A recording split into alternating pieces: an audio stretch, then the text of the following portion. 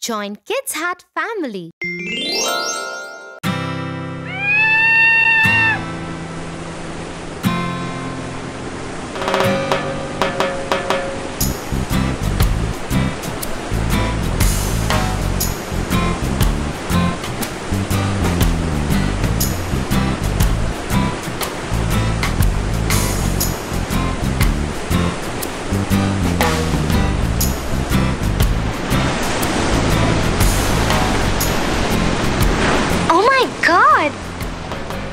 This was so much fun. Yes, it certainly was.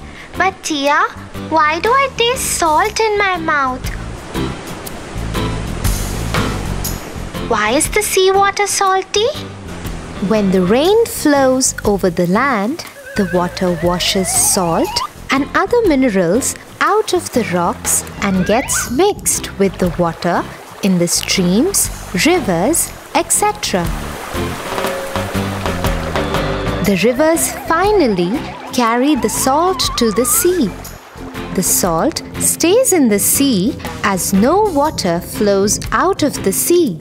When the sea water evaporates to form clouds, almost all the salt stays behind.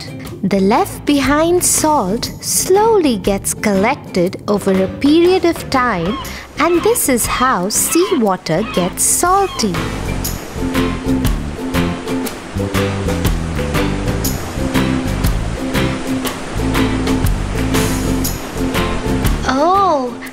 Is the reason we cannot drink seawater. It's too salty. Yes, almost 96% of water on Earth is in the oceans.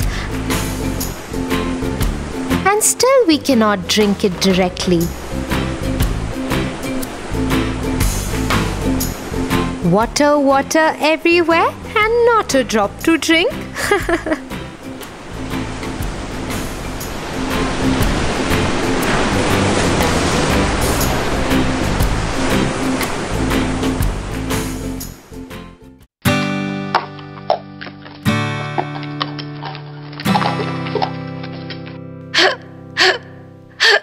Tofu, are you alright? Nah, just a hiccup. but why do we get hiccups? Hiccups are funny ones. Most simple cases of hiccups come after eating or drinking too much or too quickly. You must be wondering where these funny noises are coming from. The part to be blamed is your diaphragm. This is a dome shaped muscle at the bottom of your chest, and all hiccups start here. The diaphragm helps in breathing. When you inhale, it pulls down to help pull air into the lungs. When you exhale, the diaphragm relaxes and the air flows out of the lungs back to the nose and mouth. But sometimes the diaphragm becomes irritated. When this happens, it pulls down in a jerky way, which makes you suck air into your throat suddenly. When the air rushing in hits your voice box, you're left with a big hiccup.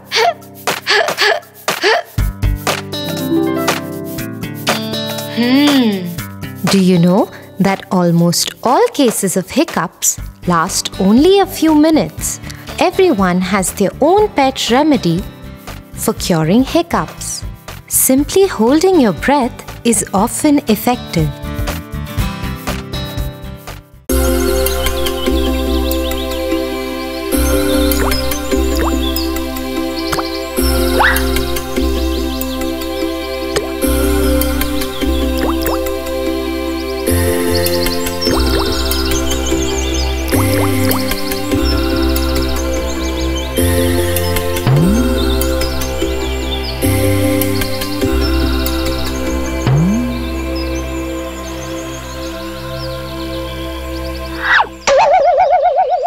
Good job, Tofu.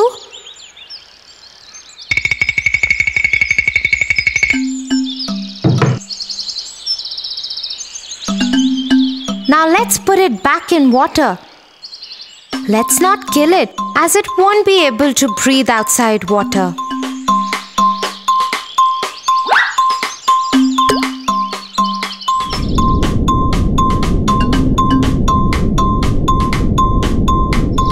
Why, Tia? If we can breathe outside water, then why can't fish do that too?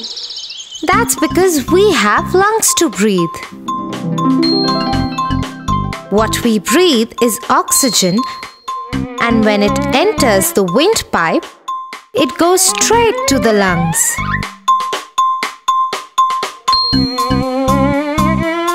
The lungs help us to breathe in air. Fish don't have lungs? No, Tofu, fish don't have lungs. They have gills. What are gills? They are similar to our lungs. Behind its mouth, they have holes just like our nose. Fish breathe by taking in oxygen from the water it drinks. The gills separate the oxygen present in the water and throw out the water and the carbon dioxide. So, are you trying to say that we have lungs and they have gills to breathe? Yes,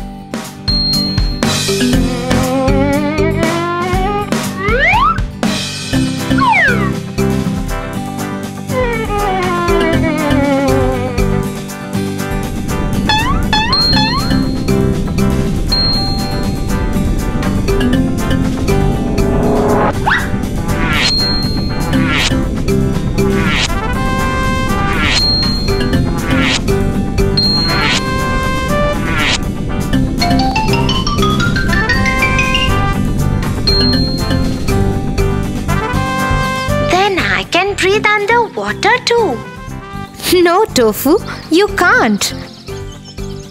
You need a snorkeling pipe to make you breathe underwater. Oh, let's do it, Tia.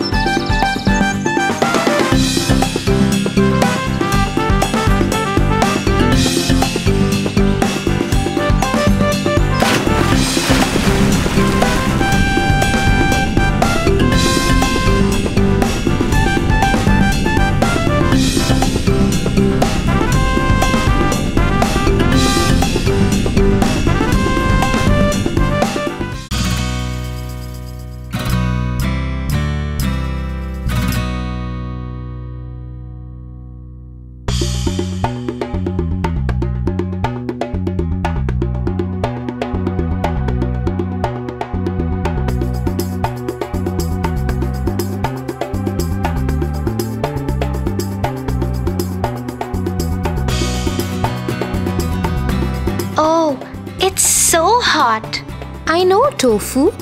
Deserts are hot.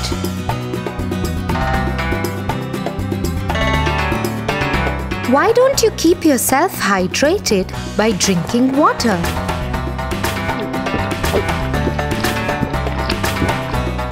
But Tia, don't our camels need water too? They do, Tofu, but not as much as we or other animals do. So you want to say they can survive without water? Yes, camels can survive up to 10 months without a sip of water, given the fact that they get sufficient moisture from green vegetation and dew. How is that possible? Do you know camels can store water? Yes, they store water in their humps. That's not true. Camels typically live in deserts where there is scarcity of both water and food. A camel's hump is a huge lump of fat which can weigh up to 80 pounds. This hump allows it to survive for up to a period of two weeks without food, but the hump has nothing to do with water. Oh, So it's not true that camels store water in the humps. So, where does he store the water for such a long time?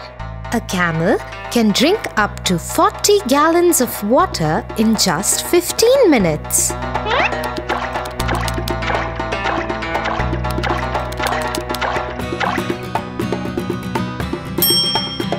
They can conserve water by managing their body temperatures.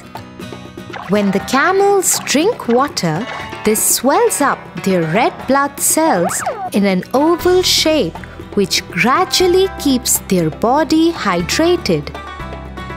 The following three mechanisms help the camel to survive in extreme conditions of the desert.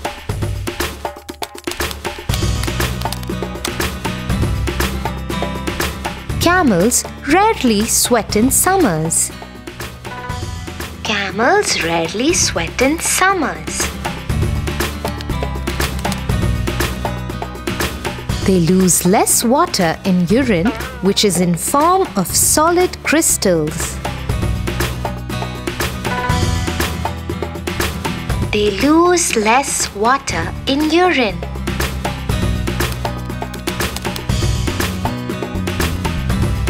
Lastly, they have thick-skinned coats that can keep their body cool. They have thick-skinned coats. So Tofu, what two things did you gather from our conversation? One, that camels don't store water in their humps. Two, that water gets stored in oval shaped red blood cells. Hmm, that's absolutely right, Tofu. You learn quite fast.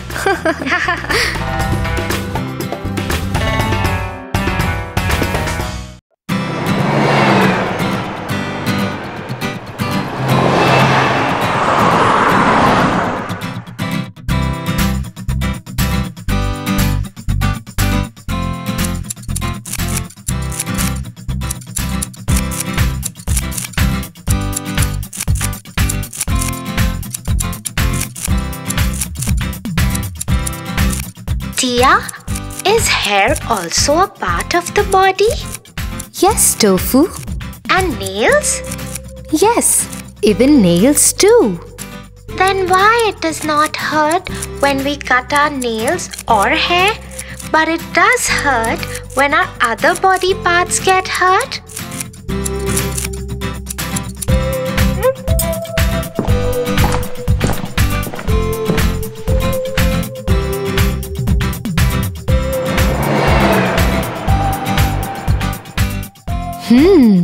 That's quite an interesting observation that you have made, Tofu.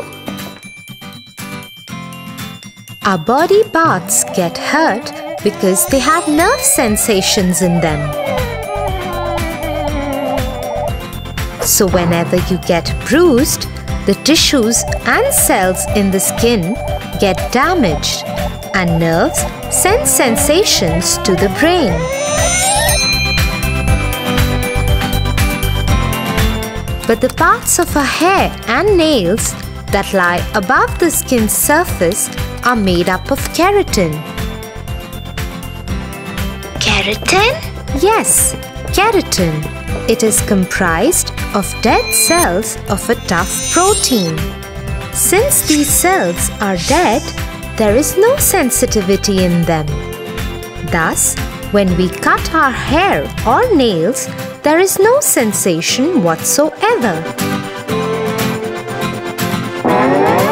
Tofu, what are you doing? It hurts. Sorry, Tia, but you just said hair and nails don't hurt? That's because both hair and nails have nerve endings just below the skin's surface. Ouch! So if a hair is pulled or nails cut too short, these nerves are affected and this could hurt us. Thanks, Tia. Now I can go and tell all my friends in school about this interesting fact about our body. Sure, Tofu, you are most welcome.